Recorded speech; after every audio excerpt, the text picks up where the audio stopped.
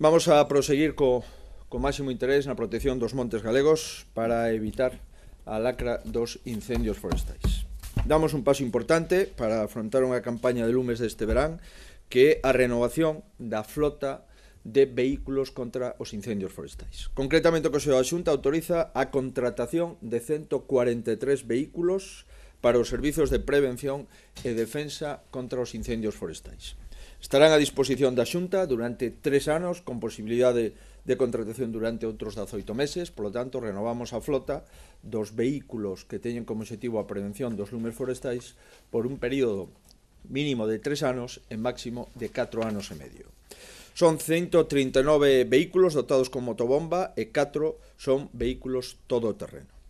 Por lo tanto, estamos preparando a campaña do verán con unha renovación dos vehículos de prevención de incendios, das motobombas e dos vehículos todoterreno.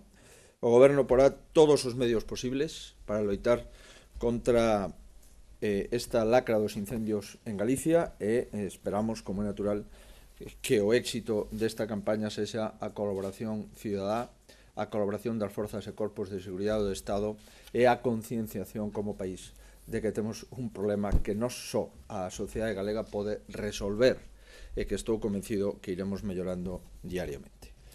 O importe desta contratación son 5,87 millóns de euros que están cofinanciados por eh, fondos europeos e fondos propios da comunidade autónoma. Espero desexo que estes vehículos melloren a dotación dos servicios de prevención de incendios.